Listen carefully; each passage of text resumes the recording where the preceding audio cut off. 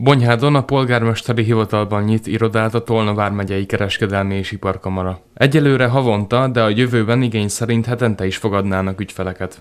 Ennek az a lényege, hogy ahogy a polgármester asszony is fogalmazott, Bonyhád egy járásközpont. Nyilván nem csak a bonyhádi, hanem a bonyhád környéki vállalkozásokat is érinti, és az a lényege, hogy azokat a szolgáltatásokat, amiket eddig szexárnak tudtak igénybe venni, az Bonyhádon is igényelhessék a vállalkozások.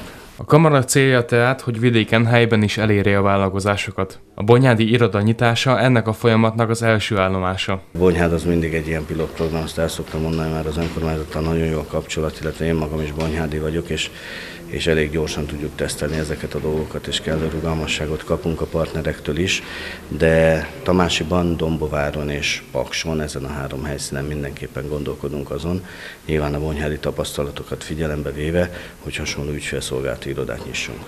A vidéki vállalkozóknak az új irodákkal a jövőben sokkal könnyebbé válhat az ügyintézés. Nagyon örülünk annak, hogy a Tolna vármegyei iparkamara itt Bonyhádon létesített elsőként az ügyfélszolgálatoknál egy olyan szolgáltatási lehetőséget a vállalkozásoknak, amely egyedülálló még egyelőre a megyében, hiszen ezen túl nem kell szexárra beutazni azoknak a vállalkozásoknak, akik szeretnének ügyeket intézni.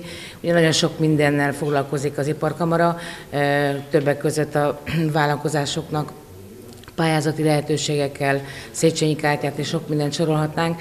Talán nem csak a bonyádi vállalkozásokat, hanem a térség valamennyi településének a vállalkozóit segítettük ezzel a lehetőséggel, hogy itt az ügyfélszolgálatok helységében a a mezőföldvíz és a Délkom mellett most már a Tolnavár megyei iparkamara is helyet kapott. Az iparkamara az elmúlt időszakban több Tolnavár megyei településen számos alkalommal tartott különböző eseményeket, például tájékoztató fórumokat. A tapasztalatok azt mutatták, hogy a vidéki vállalkozások az ilyen jellegű információkra is igényt tartanak, hamarosan pedig már ügyeiket is több helyen közvetlen intézhetik.